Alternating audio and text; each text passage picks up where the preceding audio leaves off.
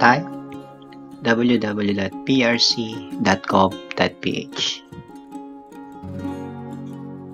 And then, may makikita kang link. Click this link for application for examination, initial registration, and renewal. So, these are focus renewal of PRC ID. Click this one.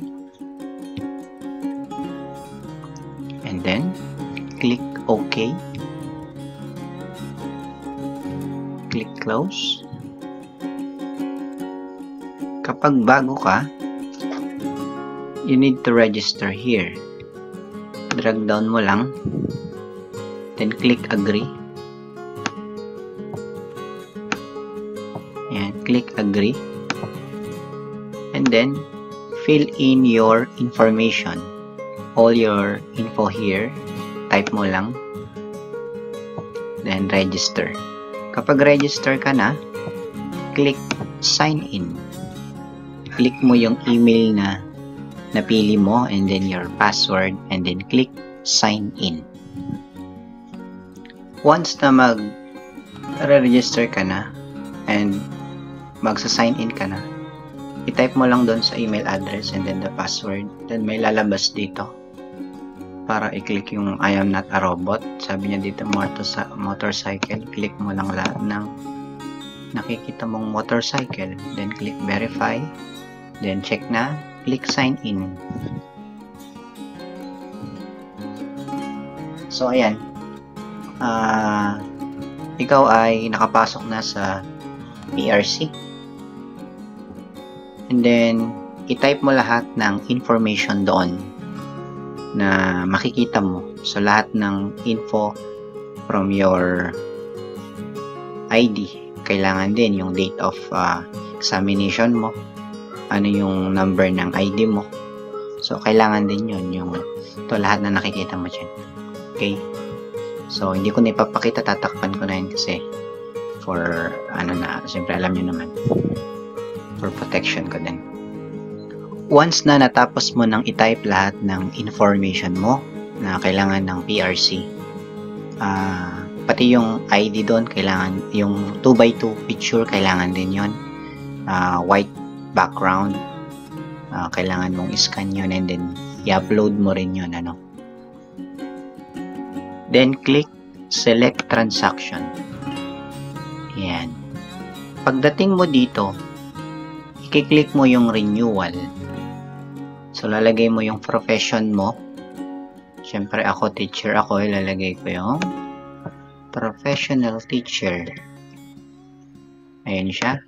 Then, my PRC license. And then, click proceed. Okay, once na kinlik mo yung PRC number mo, dito ka mapupunta. Okay, so meron tayong uh, one additional details, to select payment, then submit transaction. Okay. So, uh, guys, mga ma'am, mga sir, ang shipping delivery, unfortunately po, uh, available lang po siya dito sa NCR. So, nagtry ako kanina, hindi siya pwede. So, only NCR, nilagay ko na yung number ko dito, nilagay ko na yung street ko, yung barangay, Then pagdating ko sa region, only NCR lang pala ang available para sa service ng shipping. So yung door to door nila, only NCR lang, no? Nakakalungkot, nag-spend ako ng maraming time. However, ganun talaga. No? So sa kanila lang available. Pero I found out na pag kinlik ko yung no, no. So uh, sa region 3 kasi ako, Halimbawa, PRC San Fernando. Ito ang lalabas. No slot available. Ayan. Try din ako sa iba.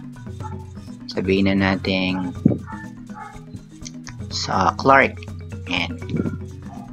Yan pa rin ang lalabas. No? Pero kung ako, from Region 3, talagang gusto mong mag-renew, may available sa Baguio nga lang no, pinakamalapit na sa atin ito. Pero siguro mag-try kayo sa mga pinakamalapit sa inyo. Ayan, no. So, may available sa Baguio. Pero, syempre, kailangan mo ng mga travel passes dahil lalabas ka ng ah, yung town. So, town to town, kailangan mo ng travel passes sa PNP. So, yan guys, no? Ah, si PRC nagbigay ng door-to-door delivery or shipping service. However, ah, it's only applicable to NCR. So, kung ah, siguro, ang PRC natin ay nag gumagawa lang ng isang ng experimental and then soon soon enough siguro sa ating mga region, kanya-kanyang region natin ay i-apply na rin nila ang shipping ah, delivery or delivery service ng PRC license. So ganun lang po paanong mag-renew ng ah, license no sa NCR. So sa NCR, meron na po kayong guide, tutorial guide sa panonood nyo ng video ito. So kung ano, tapusin nyo lang yan, i-click nyo lang tong mga to. And then next, hanggang sa submit transaction. So ganun lang po. Ah, magandang hapon, magandang umaga, magandang gabi sa inyo mga ma'am and sir.